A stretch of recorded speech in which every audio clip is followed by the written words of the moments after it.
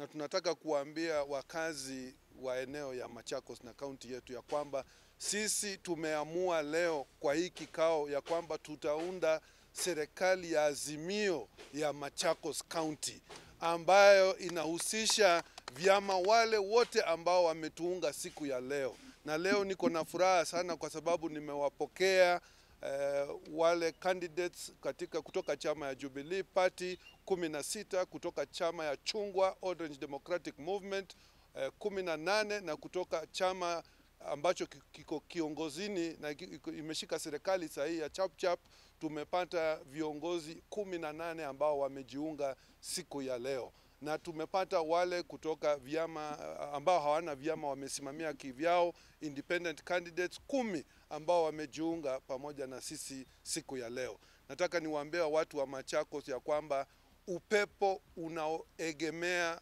upande wa Waitaa na Suluhu na tarehe tisa mwezi wa nane wapigie kura serikali ya azimio ya Machakos ambayo itahusisha viongozi kutoka kila vyama katika serikali yetu.